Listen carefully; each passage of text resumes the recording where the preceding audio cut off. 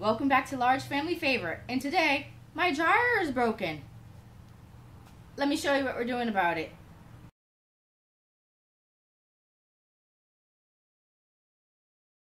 I just want to first say thank you to my subscribers. Thank you for following me along on this journey and showing your support. It is a blessing. Today, as you can tell probably by the title, I have laundry to do. However, our dryer has broken. So, my husband has decided to put together a video for you all. It is a do-it-yourself large family clothesline. That's what he's calling it. this clothesline is pretty neat because it is kind of like adjustable. You can set it up and then take it down if you need something just temporarily or you can leave it up as a permanent structure and it won't really rust, you know, right away and such. This is a pretty cool project that I, uh, I just had to share with you guys. when he thinks, he usually thinks big, big, big, big, okay? I mean, he's a, a father of seven, so you know how that goes. I call him my modern day MacGyver. So um, I'm going to be sharing that video with you all. But first, I just want to kind of give a little promotion here. Um, after you've watched this video, go ahead and click on his channel. I'll link it in the description box below. And subscribe because, like I said, with him being a father of many and a homeowner, there are things that are always needing a, a tuning around here, a fixing up, things falling apart and breaking and going kaputs on us. So uh, this man is not afraid to tackle any project so if you have a problem that you're trying to tackle in your home, leave him a comment so that maybe he can help you out or he may even do a video response for you and give you some pointers and tips along the way. So here we go. Without further ado, I'll flip it over and show you that video. Thanks for watching. Today we're going to be making a, a clothes hanger for the backyard um, and we're going to be using galvanized galvanized pipe for fencing. 16 gauge. This is a 16 gauge pipe. Galvanized pipe. It was comes in eight foot lengths. Is actually actually cheaper than getting uh, six foot or seven foot lengths. What I did I measured 80 inches. You could cut to fit whatever size you want or you could um, you could already get the sizes you want um, in specific sizes like six footers or seven footers but it's gonna cost you more money. Um, then I picked up these these pieces of hardware in Lowe's. It's a very good product. It gives you a nice clean modern look and we're gonna mount these. So we just cut the pipe at the length that we wanted 80 inches and now we're gonna mount the hardware on there. This is the top piece. And it comes with four Allen barrel screws. And just tighten, just snug it up a little bit. That's the top. This is the bottom.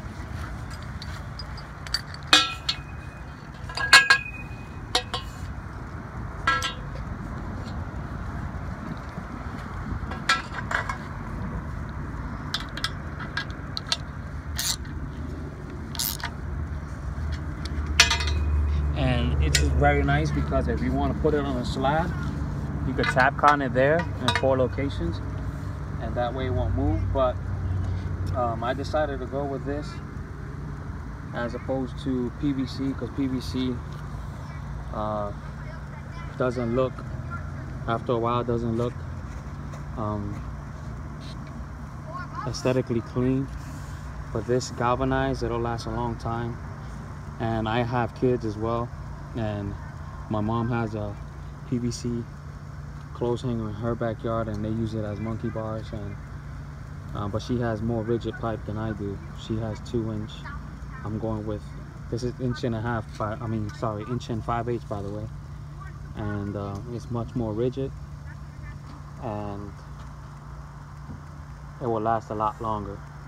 So that's basically you're gonna repeat that four times. This is your leg you're gonna repeat that four times. and we'll assemble it later on.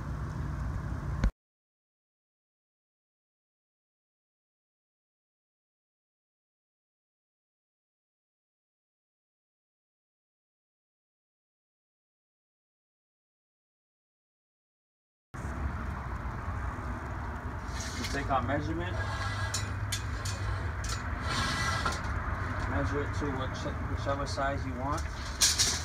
What height? This is our height, by the way. We're making our legs, and we're doing our height. The pipes, they come in eight foot lengths, and we're just gonna make an eight foot by eight foot um, square. Uh, so this is an 80 inch height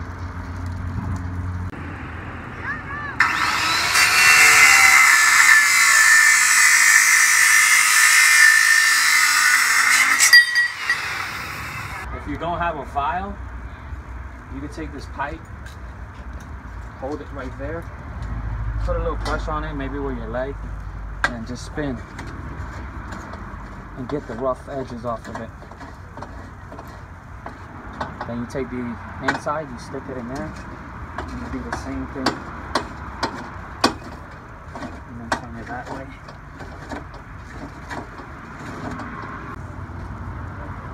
Wait for it to cool off to do this because the pipe might be hot.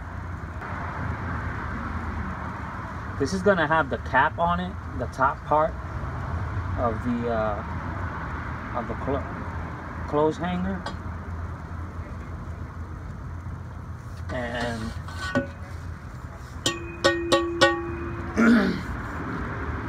so you're not really gonna um, the sharp edges aren't going to be exposed, but it's uh, it's good practice to to take that stuff off. Now we're gonna spray the end.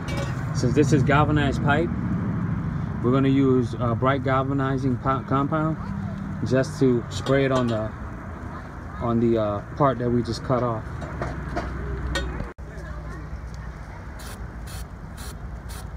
And you're just gonna spray the edge of it in edge of it and spray the opposite end as well.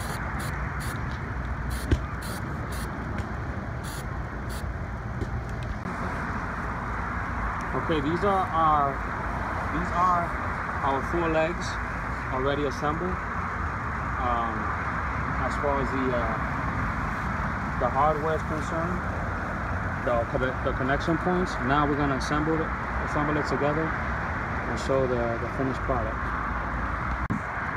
Now we're gonna assemble the uh, clothes rack. We connect the left side, just slide it in like that.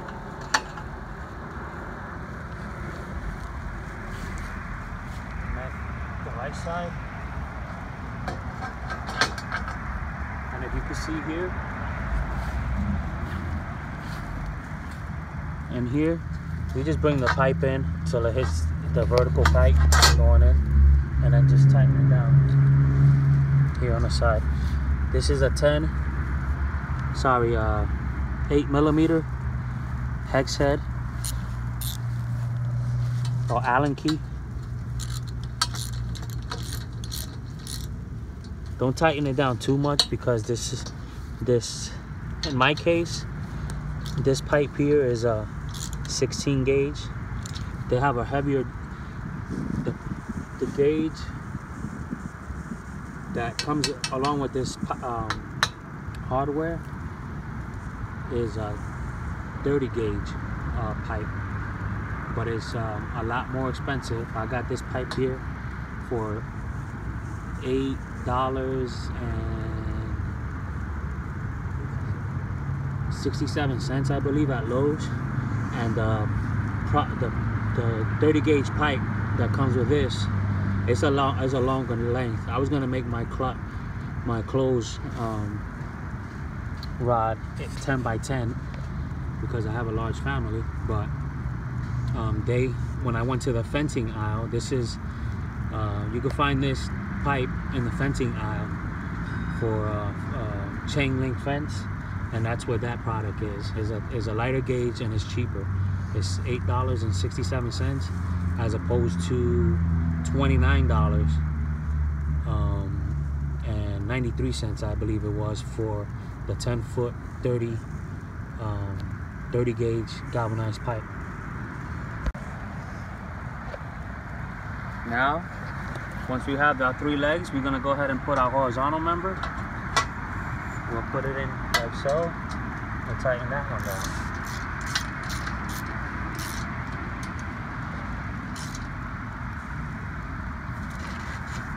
This is our horizontal.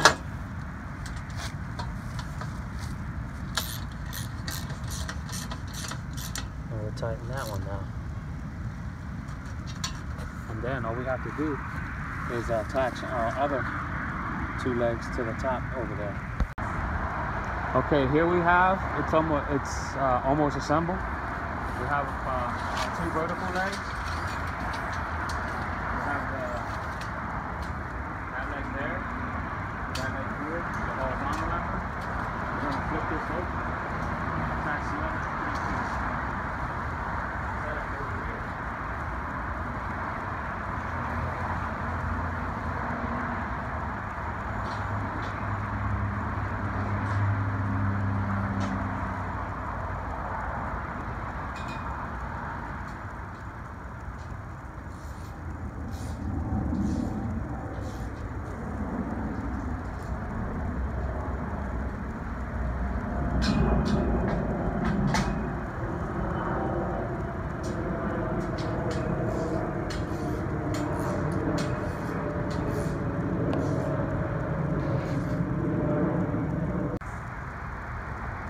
Okay, this is our finished product, but what I'm gonna do is to make it stronger, I'm gonna give my wife another hanger right here, hanging rod there, a third one here.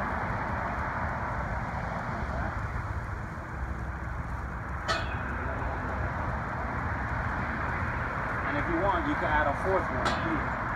But that's up to you. Again, I have a large family, there's nine of us and we live in South Florida, so we trying to take advantage of uh, the sun and the heat here. Uh, we could dry a lot of clothes on this uh, rod, on this hanging rod, and um, that's why we're going this route. Another another uh, variation you could do is you can hang rods here as well. You could hang one there. You could probably get three. One, two, three.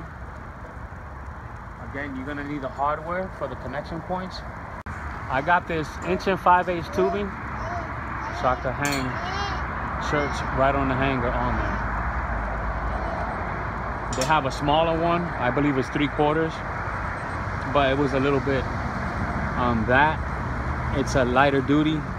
Again if you go with the uh, the product um, it's called Steel Tech you can find it at Lowe's. It um, has a three three quarter inch product. It's 30 gauge. It's very rigid very strong. It's for um, structural. However it's very very pricey. This inch and 5 eighths 16 gauge is like half the price. So I went with that again and again I went with um, galvanized because it's uh, live in uh, South Florida it's hot and I know my kids are gonna be tempted tempted to hang on this and if I make it PVC or anything smaller it's going to bend. So I went with rigidity. It's a little bit more pricey